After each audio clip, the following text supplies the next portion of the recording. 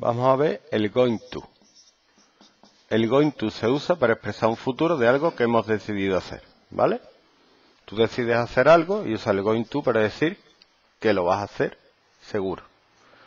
Por ejemplo, no se puede decir I'm going to go to the gym. Voy a ir al gimnasio. ¿Por qué? Porque es mentira. Luego nadie va. Falso. I'm going to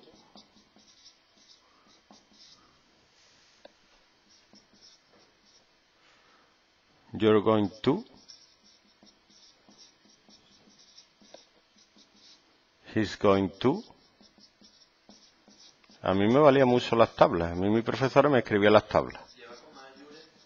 ¿Cómo? Sí, lleva el apóstrofe. It's going to. We're going to. Y mi profe me ponía las tablas y decía, venga, lo aprendéis. Luego cuando nos sabíamos las tablas, pues entonces nos poníamos a hablar un poquito.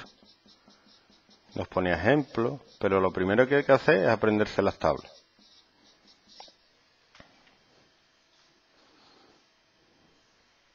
Negativa es el not va aquí. I'm not going to. Y la interrogativa sería cambiando el auxiliar. Am I going to?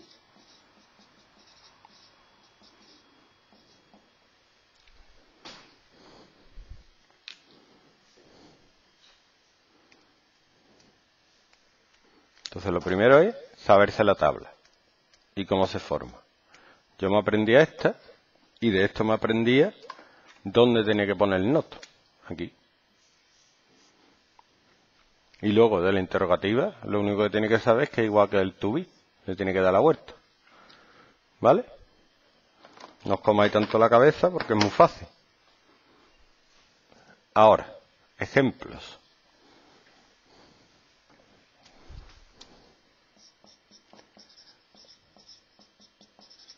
I'm going to go to the gym. Eso quiere decir que me he decidido a ir al gimnasio. Y que voy ahí, que me voy a poner fuerte, fuertecito, ¿vale? She's going to leave me. Ella me va a dejar, me va a abandonar. Oh, qué pena. Ella te ha decidido que se va, te deja, corta contigo, llora un poquito. We're going to win this match. Motivación, el entrenador. Vamos a ganar este partido. Además que la ha planeado ya. O sea, con el going to es que la ha planeado ya. Sabe cómo ganar.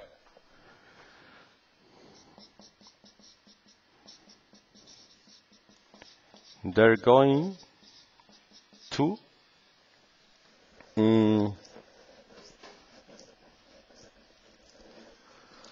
fly to New York tonight. Ellos van a volar a Nueva York esta noche. Negación, me niego algo. I'm not going to sign that paper. No voy a firmar ese papel. Que no, me niego. No voy a hacerlo. ¿Eh? ¿Cómo? ¿Dónde? Sign. S-I-G-N. Sign your name across my heart. página que tienes que meter tu nombre o tu código, no sé qué te pone eso. Unas veces, ¿no? ¿El qué? Sí. Seguramente. Sí. Signing, sí. Signing, sí. Darse de alta. Otra vez estamos con el penoso. She's not going to marry me. Ella no se va a casar conmigo. Pues la deja ya. Pues si te está dando ahí diciendo que sí, que no, tú rapidito te busca otra que te diga que sí. Fácil, ¿no? Esto es fácil, era el Wii.